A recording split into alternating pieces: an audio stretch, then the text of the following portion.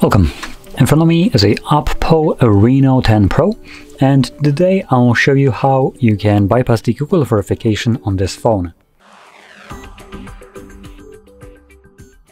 So before I get started, I'm just going to quickly touch upon the state of this device. Which you can see, it is locked. It's telling me to draw the pattern to unlock it. Uh, and if I close this, it's going to tell me to sign in with the Google account. There we go, verify your account. And without providing either one of those, you typically wouldn't be able to finish up the setup. Now, I'll be showing you how we can bypass this, and after we bypass this, also how we can fully remove it, uh, protection altogether from the device.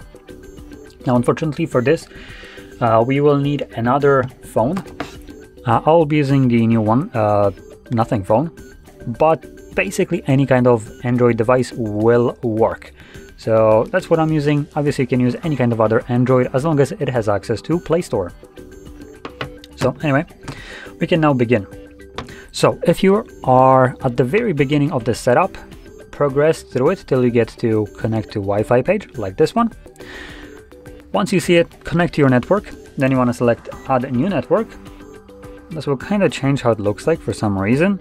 And in here you can see now we have this eye icon next to our connected network. So we're going to click on it and then we're going to select share. Now before I do so, I'm just going to kind of cover up the display. Now the reason I want to do this is because when we share it, it also shows the password of the actual network. So let me just kind of do this.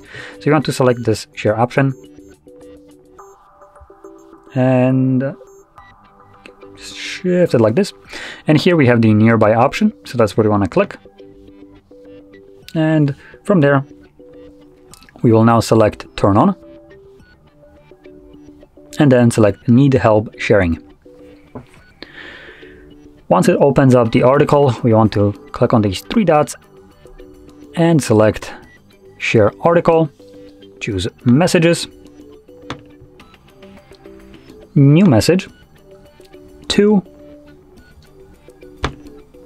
good enough. Now the number that you will put in here has zero meaning. You can just type in single number a single digit and it will still be good enough. Uh, we are not actually sending message to anyone. We just want the device to attempt to send it. So that's what I'm going to select anyway and check it. And then it automatically pastes in the article. So we want to select it and completely remove it. Once it's gone, type in www.youtube.com. Now, before you go typing in just youtube.com, I will stress this the beginning, the www part, is crucial. Without this part, uh, YouTube will open up in a pop-up view which will completely break the process. Uh, when you add this extension and then youtube.com, it will then open it up in a full application view. So anyway, type in this exact thing, send it, and as you can see, not sent, that's okay. It gives us also the link right here and this little icon right here, tap to load preview. So we're gonna click on it. It will load the image of like YouTube logo. You wanna click on it then.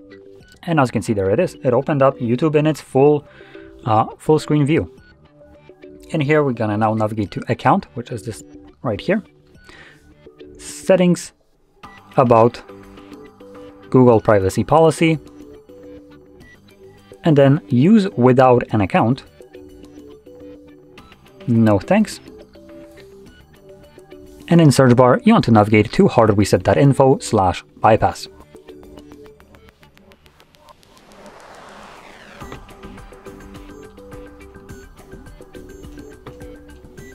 If you need a moment to copy this yourself, pause the video.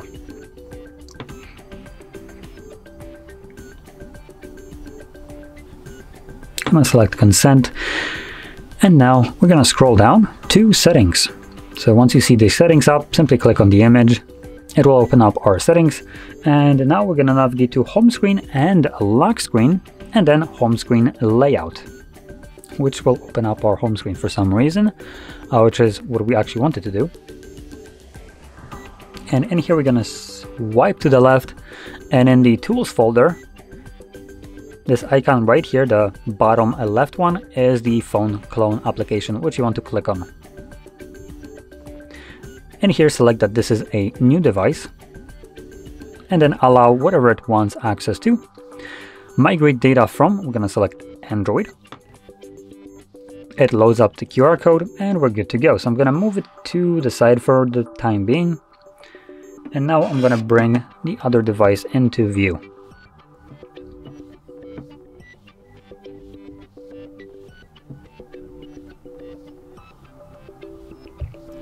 So, in here, search for phone clone.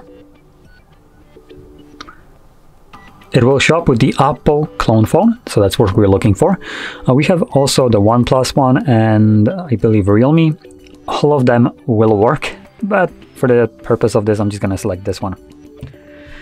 I will also uninstall it right now, just so you can have the same kind of experience as I will, or so I can have same experience as you will, I guess. And anyway, and here we're gonna select install. Then you want to select open and it will bring up a bunch of different things that we will need to agree to. So agree and continue, settings, enable, go back. Again, settings, enable, go back.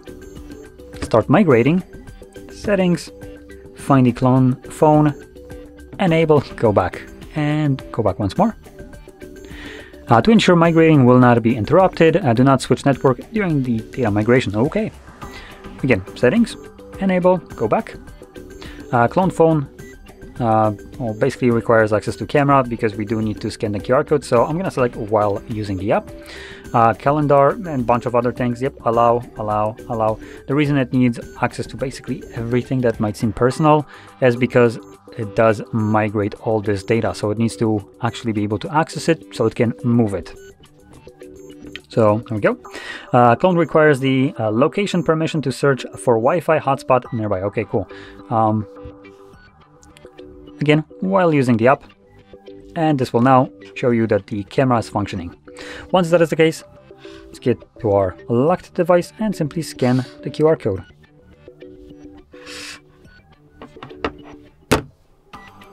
As you can see, these two devices become connected. It shows you that the hotspot has one device connected. So in here we're to select OK and automatically it selects all the data that is on our unlocked device. So we're to select right here this check mark at the very top. This will deselect everything and then you want to click on apps as in the text of it. This will then display all the applications and here you can select any kind of application that you want. I'll be selecting uh, the top Fox because it's the uh, smallest size uh, compared to other ones and from there you want to click on the check mark and select start migrating. Now it will fail with this one, I know that for certain, but that doesn't really matter if it fails migrating it or not, which you'll see in a second. So transfer complete, okay can get rid of the device now. And you can see migration completed and migration report successful 0 failed 1 as you can see it won't really matter. When you click on done it automatically takes us to the next page anyway. So this right now skipped over the verification portion of the setup and now allows us to select our navigation uh, style. I'm gonna choose gestures just out of principle. And then we can select skip for the unlock method later. Done. Give it a second. Get started. And as you can see, we are now on our home screen again. Now, this device is still not fully unlocked. So there is one last thing that we need to do to fully unlock it. So we're going to navigate to our settings. From here, you want to scroll all the way down to additional settings. Again, scroll down and select Backup and Reset. Reset phone. Erase all data. Erase all data. And then click on this once again. I'm not gonna do this on the video just because this is a factory resetter and to be honest, it doesn't really show anything. Once you begin it, it's just kind of like a bunch of color OS logo or Oppo logo. And once it's completed, you are then taken back to the setup of your device, at which point you can set up your phone however you want. It will be fully unlocked, so you don't need to do anything extra, just set it up in whatever way you want to and you're good to go. So with that being said, if you found this video helpful, don't forget to hit like, subscribe, and thanks for watching.